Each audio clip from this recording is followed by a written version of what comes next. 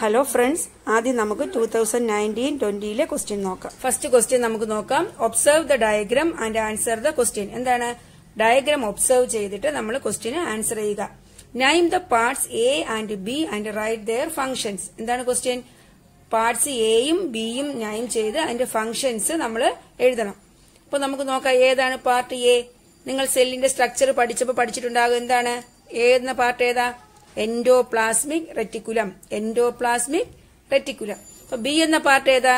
Vacuole എന്താണ്? Vacuole അപ്പൊ A endoplasmic reticulum B vacuole അപ്പൊ അതിന്റെ ഫംഗ്ഷൻസ് നോക്കാം. എൻഡോപ്ലാസ്മിക് റെറ്റിക്കുലത്തിന്റെ ഫംഗ്ഷൻ എന്താ? It is the passage in the cell സെല്ലിലോട്ടുള്ള passage ആണ്.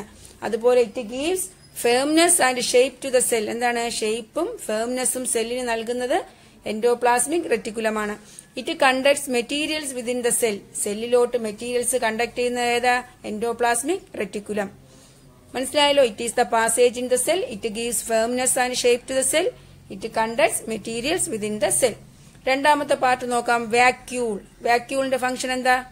It stores water salts and excretory materials within the cell സെല്ലിനുള്ളിൽ water salts and excretory materials store ചെയ്യുന്ന ഏത് പാർട്ടാ vacuole അപ്പൊ മനസ്സിലായല്ലോ എൻഡോപ്ലാസ്മിക് റെറ്റിക്കുലം ആൻഡ് വാക്യൂൾ അപ്പൊ നമുക്ക് രണ്ടാമത്തെ ക്വസ്റ്റ്യൻ നോക്കാം. എന്താണ്? ഐഡന്റിഫൈ ദ സെൽ ഓർഗനൽ എന്താണ്?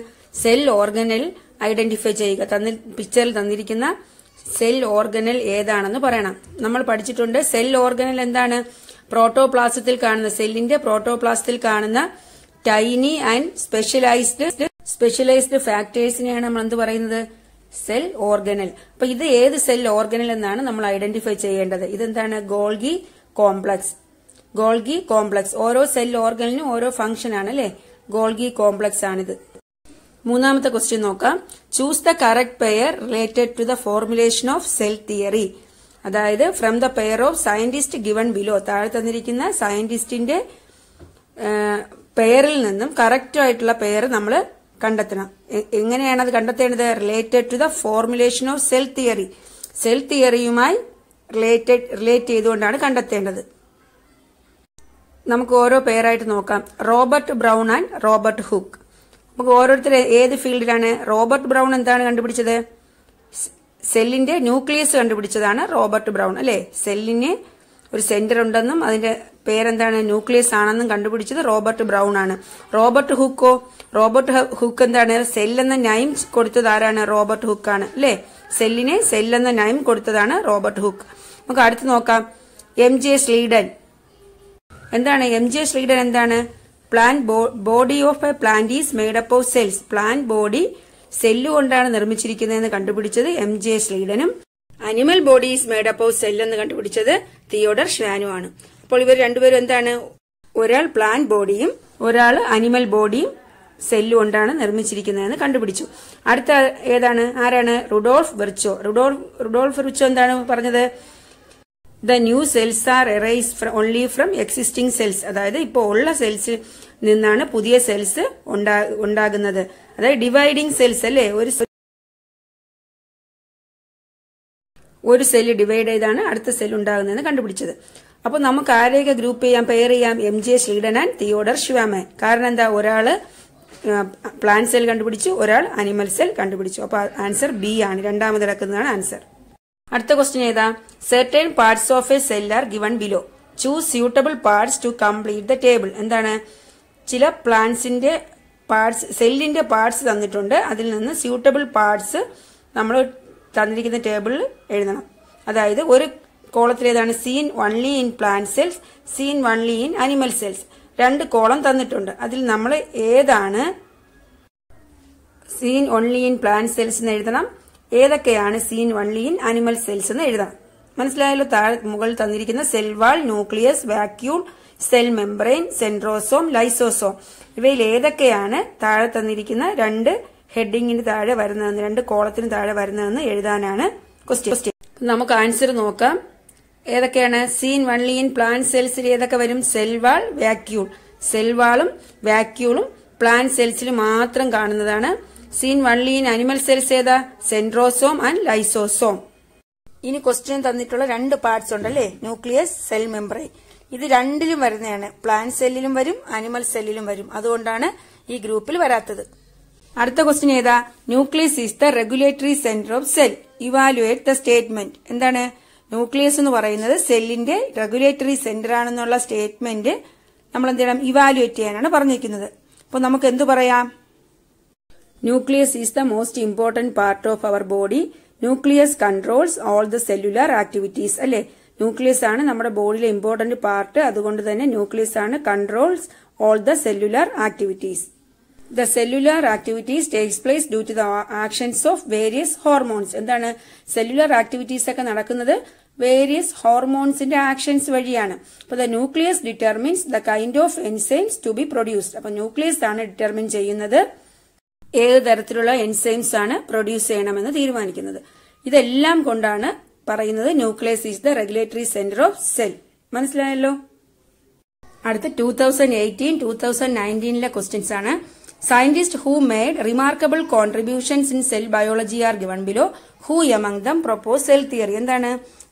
സെൽ ബയോളജിയിൽ റിമാർക്കബിൾ കോൺട്രിബ്യൂഷൻസ് നൽകിയ സയന്റിസ്റ്റിന് തന്നിട്ടുണ്ട്. ഇവരിൽ ആരാണ് സെൽ തിയറി പ്രപ്പോസ് ചെയ്തത്? ആൻസർ ബി ഓപ്ഷൻ ആണ്. M J Schleiden and Theodor Schwann M J Schleiden and Theodor Schwann ആണ് സെൽ തിയറി പ്രപ്പോസ് ചെയ്തത്. എം ജെ ശ്രീഡൻ അതാണ്? പ്ലാന്റ് ബോഡി സെൽ കൊണ്ട് നിർമ്മിച്ചിരിക്കുന്നു എന്നും Theodor Schwann animal body cell കൊണ്ട് നിർമ്മിച്ചിരിക്കുന്നു എന്നും കണ്ടുപിടിച്ചു. അടുത്ത question. When mango ripens its colour changes to yellow what is the reason എന്താണ്? മാംഗോ റൈപ്പൺ പാകമാകുമ്പോൾ അതിന്റെ കളർ എന്താകും? ചേഞ്ചസ് ടു യെല്ലോ അല്ലേ? അതിനുള്ള കാരണം എന്താണ്? കാരണം എന്താ? The chloroplast is changed to chromoplast അതാണ് എന്നുള്ള കാരണം. ക്ലോറോപ്ലാസ്റ്റ് ആണ് ഗ്രീൻ കളറിംഗ് പിഗ്മെന്റ് അല്ലേ? അത് മാറി എന്തായി മാറുന്നു? ക്രോമോപ്ലാസ്റ്റ് ആകുന്നത് കൊണ്ടാണ് മാംഗോ റൈപ്പൺ ചെയ്യുമ്പോൾ ഗ്രീൻ കളർ മാറി യെല്ലോ കളർ ആകുന്നത്. മനസ്സിലായല്ലോ? എന്താണ്? Chromo chloroplast change into chromoplast അടുത്ത ക്വസ്റ്റ്യൻ എന്താ? Analyse the given indicators and complete the table എന്താണ്? ടേബിൾ കംപ്ലീറ്റ് ചെയ്യാനാണ്. ഒരു കോളത്തിൽ ഫംഗ്ഷൻ ആൻഡ് പെക്യൂലിയാരിറ്റീസ് തന്നിട്ടുണ്ട്. അടുത്തതിൽ സെൽ ഓർഗനൽ തന്നിട്ടുണ്ട്. അതായത് സെൽ ഓർഗനൽ അറിയാലോ? എന്താണ് ഓരോ tiny specialised factors in protoplasm പ്രോട്ടോപ്ലാസത്തിൽ കാണുന്ന ടൈനി സ്പെഷ്യലൈസ്ഡ് ഫാക്ടേഴ്സ് ആണ്. അതിന് ഓരോ ഓർഗനിലേക്കും ഓരോ ഫംഗ്ഷൻസ് ആണ് ഉള്ളത്. ഒന്നാമത്തെ ഫംഗ്ഷൻ നോക്കാം. എന്താണ്? സെന്റർ ഓഫ് പ്രോട്ടീൻ സിന്തസിസ് എന്താണ്? പ്രോട്ടീൻ സിന്തസിസിന്റെ സെന്റർ ആണ് ഈ ഓർഗനൽ ഏതായിരിക്കും? സെൽ ഓർഗനൽ ഏതാണ്? റൈബോസോം റൈബോസോം ആണ് ഫസ്റ്റ് ആൻസർ എയുടെ ആൻസർ എന്താ? റൈബോസോം എന്താണ് കാരണം? റൈബോസോം ആണ് സെന്റർ ഓഫ് പ്രോട്ടീൻ സിന്തസിസ് മനസ്സിലായല്ലോ? അടുത്ത് നമുക്ക് സെൽ ഓർഗനൽ തന്നിട്ടുണ്ട്. അതിന്റെ ഫംഗ്ഷൻ ആണ് എഴുതേണ്ടത്. ഏതാണ് സെൽ ഓർഗനൽ മൈറ്റോ കോൺട്രിയോൺ അല്ലെ? മൈറ്റോ കോൺട്രിയോ അതിന്റെ ഫംഗ്ഷൻ എന്താ? Production and storage of energy important ആണിത്. നമുക്ക് എപ്പോഴും ചോദിക്കുന്നതാണ്. പവർ ഹൗസ് ഓഫ് സെൽ എന്ന് ചോദിക്കും. മൈറ്റോകോൺട്രിയ കാരണം എന്താ? Production and storage of energy. Energy produce ചെയ്യുന്നതും സ്റ്റോർ ചെയ്ത് വെക്കുന്ന ആരാണ്? മൈറ്റോകോൺട്രിയോൺ മനസ്സിലായല്ലോ? അപ്പൊ രണ്ടാമത്തെ ആൻസർ ഏതാ? മൈറ്റോകോൺട്രിയുടെ ഫംഗ്ഷൻ എന്താ? Production and storage of energy. അടുത്ത ഫംഗ്ഷൻ വായിക്കാം. Collect some secretions like enzymes hormones mucus etcetera in small vesicles എന്താണ്? Collect some secretions like enzymes hormones mucus. അപ്പൊ ഏത് സെൽ ഓർഗനൽസ് ആണ് കളക്ട് ചെയ്യുന്നത്? ഗോൾഗി കോംപ്ലക്സ് ആണ്. എന്താണ് answer? Golgi complex. Golgi complex collect some secretions like enzymes hormones mucus in small vesicles. മനസ്സിലായല്ലോ? എന്താണ് ഇനി അടുത്തത്? വാക്യൂൾ ആണ് അടുത്ത സെൽ ഓർഗനൽ തന്നിരിക്കുന്നത്. വാക്യൂൾ. വാക്യൂളിന്റെ ഫംഗ്ഷൻ ഏതാ? നമ്മൾ ഫസ്റ്റ് ക്വസ്റ്റ്യനിൽ പഠിച്ചു. എന്താണ്? It stores salts water and excretory materials എന്തൊക്കെയാണ്? വാക്യൂളിന്റെ function it stores water salts and excretory materials അപ്പൊ എല്ലാം മനസ്സിലായല്ലോ? ഫംഗ്ഷനും സെൽ ഓർഗനലും എന്താണെന്ന് മനസ്സിലായി. പ്രോട്ടീൻ സിന്തസിസ് റൈബോസോം മൈറ്റോകോൺട്രിയുടെ എന്താണ്? Production and storage of energy ഇനി അടുത്തത് ഏതാ? Collect some secretions like enzymes hormones mucus etcetera in small vesicles ഏതാണ്? ഗോൾഗി കോംപ്ലക്സ് വാക്യൂൾ എന്താണ്? It stores water salts and excretory materials within the cell അപ്പൊ എല്ലാത്തിന്റെയും functions കഴിഞ്ഞു. അടുത്ത ക്വസ്റ്റ്യൻ നോക്കാം. Copy the given diagram identify name and label the parts by the hints given എന്താണ് diagram copy ചെയ്യണം? പിന്നെന്താണ് name and label the parts by the hints given താഴെ തന്നിരിക്കുന്ന ഹിന്റ് ഉപയോഗിച്ച് എന്ത് ചെയ്യണം നമ്മൾ ആ പാർട്സ് നൈം ചെയ്ത് ഐഡന്റിഫൈ ചെയ്യാനാണ് പറയുന്നത്. ആദ്യം ഇത് എന്തിന്റെ പിക്ചറാ ഒരു ന്യൂക്ലിയസിന്റെ ക്രോസ് സെക്ഷൻ ആണ് കൊടുത്തേക്കുന്നത് അല്ലേ? അപ്പൊ ന്യൂക്ലിയസിന്റെ രണ്ട് പാർട്ട് തന്നിട്ടുണ്ട്. അത് ഏതാണെന്ന് ഐഡന്റിഫൈ ചെയ്യാനാണ്. They are seen as a network in the nucleoplasm അപ്പൊ എ എന്താണ്? അവിടെ മാർക്ക് ചെയ്തിരിക്കുന്ന എയുടെ ഹിന്റ് എന്താണ്? They are seen as a network in the nucleoplasm ന്യൂക്ലിയോപ്ലാസത്തിൽ network പോലെ കാണുന്നതാണ് ആ എ എന്ന പാർട്ട് അത് ഏതാണ്? നിങ്ങൾ പഠിച്ചിട്ടുണ്ട് ന്യൂക്ലിയോ ന്യൂക്ലിയോപ്ലാസത്തിൽ നെറ്റ്വർക്കായിട്ട് കാണുന്ന പാർട്ടിനെ പറയുന്ന പേരേതാ? ക്രോമാറ്റിൻ റെറ്റിക്കുലം എന്താണ്? ക്രോമാറ്റിൻ റെറ്റിക്കുലം ബി എന്താ? Play major role in the synthesis of ribosome റൈബോസോമിന്റെ സിന്തസിസിൽ മേജർ റോളുള്ള പാർട്ട് ഏതാ? ന്യൂക്ലിയോലസ് അല്ലേ? അപ്പൊ ന്യൂക്ലിയസിൽ കാണുന്ന രണ്ട് പാർട്ടുകളാണ്. ഒന്ന് എ എന്ന് പറയുന്ന ക്രോമാറ്റിൻ റെറ്റിക്കുലം രണ്ടാമത്തത് ന്യൂക്ലിയോലസ്. മനസ്സിലായല്ലോ? ഇതിൽ ക്രോമാറ്റിൻ റെറ്റിക്കുലം എന്താണ്? It carries the genes and the nucleolus എന്താണ്? ഇപ്പൊ പറഞ്ഞു synthesis of ribosome. Complete the following illustration എന്താണ്? സെൽ ബയോളജിയുമായി റിലേറ്റ് ചെയ്തിട്ടുള്ള കുറച്ച് കാര്യങ്ങളാണ് കൊടുത്തിരിക്കുന്നത്. അതിൽ നമ്മൾ എന്താണ് എ ബി സി ഡി ഇങ്ങനെ മാർക്ക് ചെയ്തിരിക്കുന്നത് നമ്മൾ ഫില്ല് ചെയ്യണം. ഒന്നാമത് നോക്കാം റോബർട്ട് ബ്രൗൺ അല്ലെ? എയിൽ എന്താണ്? റോബർട്ട് ബ്രൗണുമായിട്ട് ബന്ധമുള്ള കാര്യമാണ് എഴുതേണ്ടത്. ആരാണ് Robert Brown? Discovered the centre of the cell and named it അല്ലെ? സെല്ലിന്റെ സെന്റർ കണ്ടുപിടിക്കുകയും അതിന് ന്യൂക്ലിയസ് എന്ന നൈം കൊടുക്കുകയും ചെയ്ത ആരാണ്? Robert Brown. അപ്പൊ നമുക്ക് എയിൽ എന്ത് എഴുതാം? Discovered the centre of the cell and named it അടുത്ത ബി എന്താ? Plant body is made up of cells plant body cell കൊണ്ടാണ് നിർമ്മിച്ചിരിക്കുന്നതെന്ന് കണ്ടുപിടിച്ചത് ആരാണ്? എം ജെ സ്ലീഡൻ അപ്പൊ ബിയിൽ എന്ത് എഴുതാം? എം ജെ സ്ലീഡൻ എന്താ C Theodor Schwann Theodor Schwann എന്താ? എന്ത് കണ്ടുപിടിച്ചു? Animal body is made up of cells അപ്പൊ സിയിൽ നമുക്ക് എന്തെഴുതാം animal body is made up of cells അടുത്തത് ഡി നോക്കാം. ഡി എന്താ? New cells arise only from existing cells existing സെൽസിൽ നിന്ന് മാത്രമേ ന്യൂ സെൽസ് ഉണ്ടാകൂ എന്ന് കണ്ടുപിടിച്ചത് ആരാണ്? റുഡോൾഫ് വിർച്ചോ റുഡോൾഫ് വിർച്ചോ അപ്പൊ എന്തൊക്കെയാ പറഞ്ഞത്? Robert Brown discovered the centre of the cell plant bodies up of cells കണ്ടുപിടിച്ചത് M J Schleiden Theodor Schwann എന്താ? Animal bodies up of cells അടുത്ത് new cells arise only from existing cells എന്ന് കണ്ടുപിടിച്ചത് Rudolf Virchow next question complete the concept map concept map complete ചെയ്യാനാണ്. എന്താണ്? ഇവിടെ കൊടുത്തിട്ടുണ്ട്. Cells കൊടുത്തിട്ടുണ്ട് അല്ലേ? അതിന്റെ രണ്ട് ഡിവിഷൻ. ഫസ്റ്റ് യു കാരിയോട്സ് അപ്പൊ അടുത്ത അപ്പുറത്ത് എന്തായിരിക്കും വരുന്നത്? എയിൽ എന്തായിരിക്കും വരുന്നത്? സെൽസിനെ യു കാരിയോട്സ് എന്നും പ്രോ കാരിയോട്സ് എന്നുമാണ് നമ്മൾ ഡിവൈഡ് ചെയ്യുന്നത്. അപ്പൊ അപ്പുറത്ത് എന്തായിരിക്കും? പ്രോ കാരിയോട്സ് അല്ലേ? എന്തായാലും പ്രോ കാരിയോട്സ് ആയിരിക്കും എ എന്ന പാർട്ടിൽ വരുന്നത്. അടുത്ത് നോക്കാം. ബി എന്ന പാർട്ട് കംപ്ലീറ്റ് ചെയ്യണമെങ്കിൽ നമ്മൾ മറു സൈഡ് നോക്കണം. No well defined nucleus covered by membrane എന്താണ്? മെമ്പറൈൻ വെച്ച് കവർ ചെയ്ത് no well defined nucleus covered by membrane membrane വെച്ച് കവർ ചെയ്തിട്ടുള്ള വെൽ ഡിഫൈൻഡ് ന്യൂക്ലിയസ് ഇല്ലാന്ന്. അപ്പൊ ഇവിടെ എങ്ങനെയായിരിക്കും?